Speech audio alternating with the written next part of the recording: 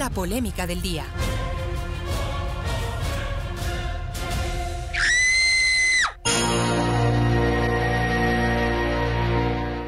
Bueno, ¿y cómo se llama la polémica? No le... ah, ya. Ese es el título, amigos. Los divorcios solucionan los problemas de las mujeres, mira tú. ¿Me estás preguntando? ¿Me estás afirmando? Bueno, esto, esto en relación a una declaración que hizo Ah. la candidata eh, Verónica Abad, ¿no? Eh, así que vamos a desarrollar ese tema. Y oye, sigue así. ¿Será que le están dando réditos esto de hablar cada cosa? Yo no sé eh, por qué se insiste en este tipo de... Debe darle réditos. Debe haber una encuesta que decir, dale Verónica, dale. Cada día pones noticia, pones agenda. Capaz que Genera cayendo- tendencias, ¿no? Capaz que estamos cayendo en eso. ¿no? Seguramente. Bueno, eh, la Vero Abad, candidata a vicepresidenta de la República de Daniel Novoa, lo volvió a hacer, ¿no? Hoy les vamos a presentar la última perla que se mandó la Vero y que ha causado una avalancha de críticas en las redes sociales. Así es. Y bueno, y, y en realidad ya hemos perdido la cuenta de los disparates que se ha mandado la candidata, ¿no? En todos estos días, ¿no? Han sido Sí. muchísimos. ¿eh? Eh, Realmente quisimos hacer la cuenta, pero ya nos cuesta. Son más de cinco, siempre cinco, qué bruto. Ya. Recordemos que anteriormente dijo que por qué el gobierno debe darnos educación gratuita, la primer de los cinco. Cuando puede trabajar, una persona puede pagarse todo esto sin necesidad del Estado. ¿Sí o no? Exactamente. Ese fue una de las eh, monumentales, ¿no? Pero mm, eh, también dijo que se debe privatizar la salud, la propia educación, la seguridad social, las pensiones. eh. Claro. Eso dijo, ¿no? que, que se debe eh, privatizar, que eso no debería ser una eh, función, una obligación del Estado. del Y gobierno, peor, y dijo que aún que una mujer embarazada, una mujer que en su periodo de lactancia o su periodo de, de- de permiso laboral, Debe ganar menos que un hombre. debe ganar menos que un hombre porque no está siendo productiva. Eso no digo yo, por cierto, dice la señora Verónica Abad, por cierto, no van a Ya. creer eso. Dije que debe ganar menos. Exactamente, ya. E- Esa perla también eh, fue muy, muy comentada, ¿no? Muy discutida. Pero vamos al grano, vamos a la de hoy. Porque ahora nos La salió la Vero Abad con esta nueva. Asegura que el Estado, escuchen bien, asegura que el Estado promueve que las mujeres se divorcien. Así como lo escuchan. ¿no? Así es. Dice que con el divorcio, voy a repetir, dice que con el divorcio las mujeres acceden a bonos y a educación y salud gratuita para sus hijos. Si no nos el video. creen, les vamos a poner esta declaración a continuación.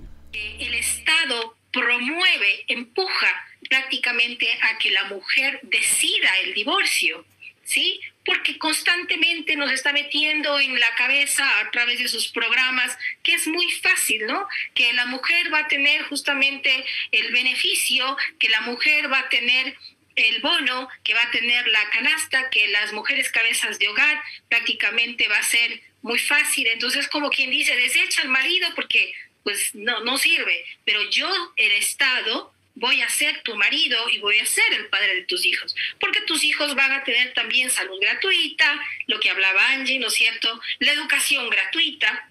Y cuando realmente uno se pone a pensar, ¿por qué nace derecho? Hace momentos hablábamos con Angie y logra entender realmente, porque uno, uno como liberal habla de los derechos naturales, ¿no es cierto? Uno decimos que los derechos naturales es vida, libertad y propiedad. ¿Por qué son naturales? Porque es natura, porque nadie nos ha dado, esto viene con la naturaleza, es decir, Dios nos otorga, no nos otorga un político, no nos otorga un burócrata, no nos otorga un gobierno, peor un candidato, como para decir que nos va a dar vida y libertad y propiedad. No obstante, entendemos que justamente el derecho es por esa misma razón, el derecho natural es porque no, no viene eh, de alguien, ¿ok? Por lo tanto, no nos pueden ofrecer vida gratuita o libertad gratuita, ¿cierto? O libertad gratuita, porque eso ya lo tenemos. Entonces, obviamente, esos son los únicos derechos que existen. Más no el derecho a la educación, el derecho justamente a la salud, a las jubilaciones y pensiones, cómo terminamos nuestras vidas, no son derechos. Derecho al trabajo y asoman un montón de derechos que nosotros tenemos, ¿no? Derecho a la economía, derecho, un montón de millones de derechos que tenemos hoy en día. No obstante... ¿Te puedo confesar algo? No, no te sientas abrumado, pero te puedo confesar algo. A ver, dime. No entendí ni J. Pero así, Ya, ni ya, mijo, J. O sea, dijo algunas cosas eh, con la solvencia de que sabe lo que habla, pero con una mezcla de ideas que definitivamente sobre la marcha demuestra que está mezclando fritada con yogur. O sea, aquí no hay muchas Sí, sí, ideas. sí, totalmente, totalmente. Oye, y, y ponte de, de- de esta declaración, comentábamos acá incluso con nuestras compañeras, y algunas compañeras divorciadas también, por ejemplo. La Dianita decía, "Vi- a ver, ¿dónde cobro el bono? Fíjate que ya me divorcié, decía. ¿Dónde, dónde, dónde hay que cobrar el bono? Decía. Oye, está diciendo que el Estado hace como de papá. Exactamente, dice que le, le ven como al marido al Estado. Ya, y entonces el Estado termina manteniendo. Claro que le da el bono a, a una mujer divorciada y para sus hijos le da educación, salud gratuita, una maravilla. Ay, ay, ay. O sea, ahí hay, muchas confusiones. Eh, Primero, del- en el plano, ¿no? Porque estamos hablando de un plano de, de- de la familia, un plano del hogar. Y luego confunde eso con la política pública y el rol del Estado. Entonces, me parece que aquí sí no ha definido realmente. Hay matrices y hay categorías que sirven para un tema y otras que definitivamente no sirven para ese tema, pero sirven para otro tema. Entonces, yo creo que no está muy bien organizado ese discurso, ni no es ni claro y más bien puede ser muy dañino. Pero bueno, analicemos estas declaraciones, ¿no? ¿Qué tan cierto es lo que dice Verónica Abad? Como dicen los abogados en, la- en las audiencias, eso es falso, de falsedad absoluta, claro, porque ¿qué datos o cifras tiene pues para demostrar que las mujeres se divorcian para cobrar bonos? O sea, ¿De, dónde, saca? ¿De dónde, saca esa aseveración? ¿De dónde la saca? Vamos a analizar la realidad sobre la entrega de bonos a grupos vulnerables, para que se vea que doña Vero Abad anda más perdida que Mirlo en el chimborazo.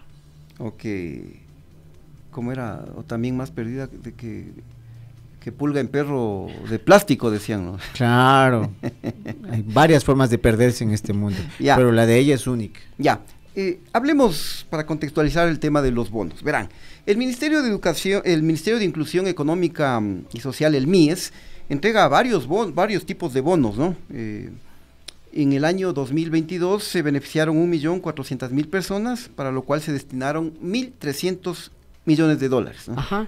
Veamos cuáles son esos tipos de bonos. El primero es el bono de desarrollo humano de 50 dólares, el cual llega a un número amplio, mayor de beneficiarios. Este aporte ayuda a quienes, a personas que están en situación de vulnerabilidad y que se encuentran clasificadas según el índice de clasificación socioeconómica. Así es. El segundo bono es eh, el de desarrollo humano variable. Este ya sube un poquito, ¿no? Porque puede llegar hasta 150 dólares. Y este llega a familias en situación de extrema pobreza, en función del número de hijos menores de edad también. Entonces hemos hablado del bono de desarrollo humano, del bono de desarrollo humano variable, el primero de 50, el segundo de 150. Vamos a hablar del tercero. El tercero es el bono o pensión para adultos mayores, por un valor de 50 dólares. Esta ayuda está dirigida a personas de 65 años en adelante que no accedan a la seguridad social con el fin de cubrir, lógicamente, todas las carencias económicas. Una parte al menos, ¿no? Una parte, una parte. Ya. Luego tenemos eh, un- el bono o pensión denominado Mis Mejores Años. Este va de 50 a 100 dólares y también va dirigido a adultos mayores identificados en condiciones de extrema pobreza. Cuatro bonos. Vamos con el quinto. Bono para personas con discapacidad de 50 dólares, dirigido a personas con discapacidad, como les digo, igual o mayor a 40%, porcentaje establecido por el Ministerio de Salud, y que no accedan a cobertura de la Seguridad Social del Ecuador. Ya, y el sexto bono eh, se llama el bono Joaquín Gallegos. Este bono eh, es de un valor de 240 dólares y va dirigido a personas con discapacidad física, intelectual y psicosocial severa, eh, también con enfermedades catastróficas, enfermedades raras y huérfanas y menores de 14 años viviendo con VIH-Sida en condición socioeconómica crítica. Ya. Entonces, ahí están los bonos, ¿no? Que, entrega actualmente el MIES.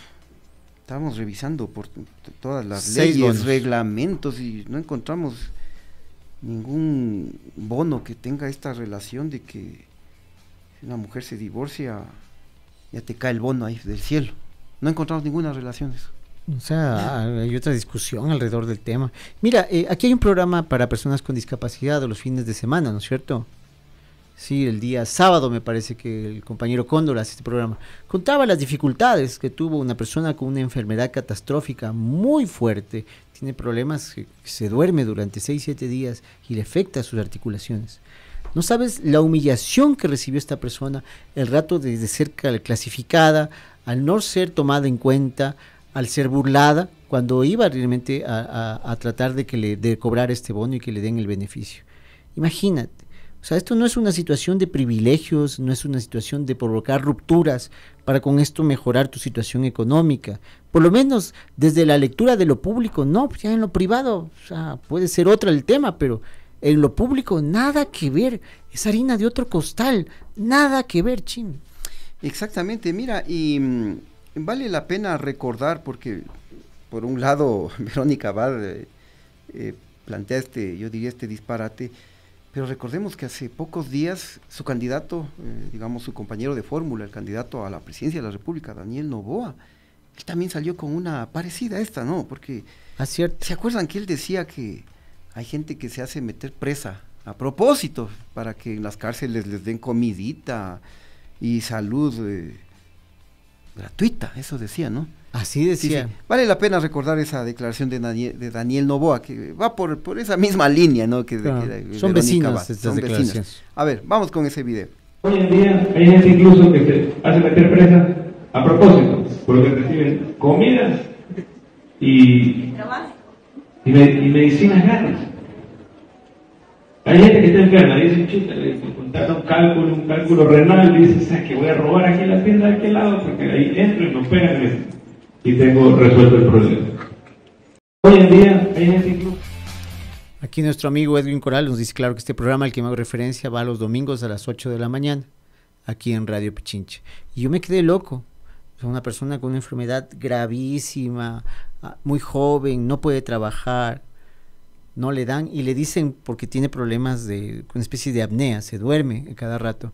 ¿Y sabes qué le había dicho la persona que le valoraba? Porque no toma café? así, loco. O sea, de verdad, me encantaría escuchar nuevamente ese reportaje y les invito eh, a buscar esta información. Eh, les decía eso. Sí, mira, eh, claro, tú traes a colación este tema de la complejidad que hay para una persona con discapacidad de poder obtener el, el certificado avalado por el Ministerio de Salud. Es súper complicado eso, ¿no? Y con ese carnet de discapacidad, bueno, ya eh, puedes acceder a este, a este bono para las personas con discapacidad, ¿no?